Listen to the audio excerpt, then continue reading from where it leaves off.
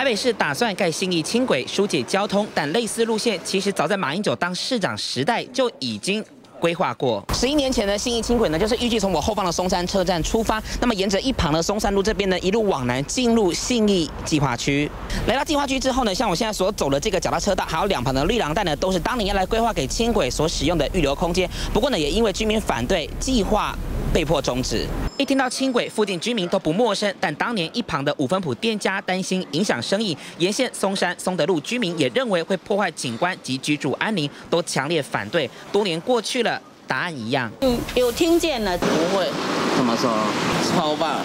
为了疏解新域区一带的交通问题，两千零四年时任台北市长的马英九就曾规划以磁浮列车为主的轻轨系统，才高架形式新建，拟设立十五座车站，串联起台铁松山车站和捷运板南新义线，采环状形式环绕新义区，预留向南延伸木栅空间。二期路网本来也打算跨过基隆河向北进入内湖疏解交通，但都因居民强烈反对，觉得又吵又丑，计划。最后胎死腹中，抗争的非常厉害啊！